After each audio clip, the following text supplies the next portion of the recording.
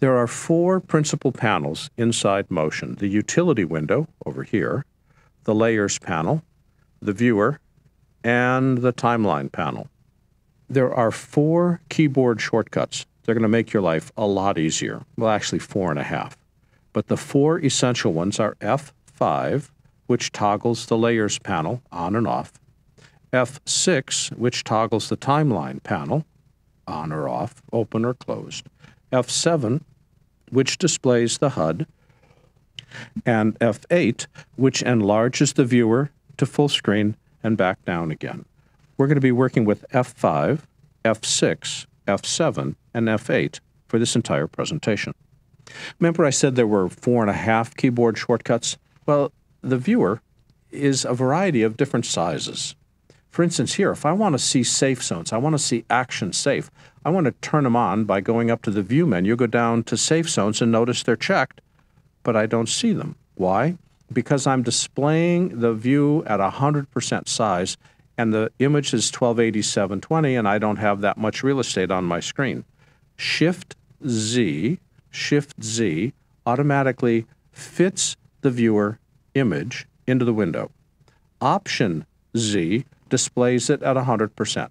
Option Z is 100%. Shift Z fits it into the window. And for today, I'm going to fit this into the window by typing Shift Z.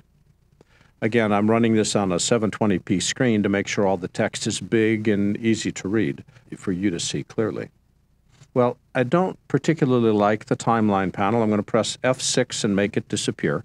We're going to work principally with these three, the utility window, the layers panel, and the viewer.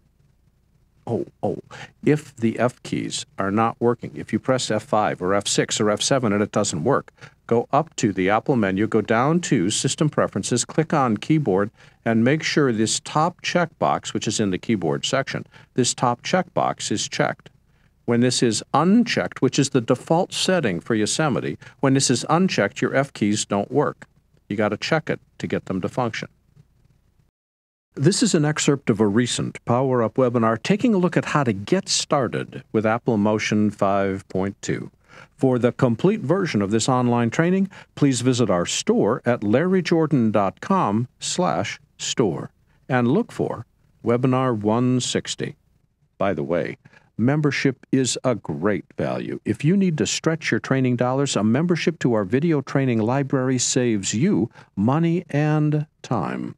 You can access all of our videos for a low monthly price of only $19.99. That's more than 1,200 movies, hundreds of hours, all in depth and all up to date. Plus, members can attend any Power Up webinar for free.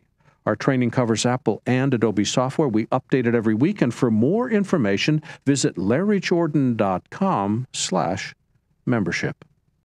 And thanks.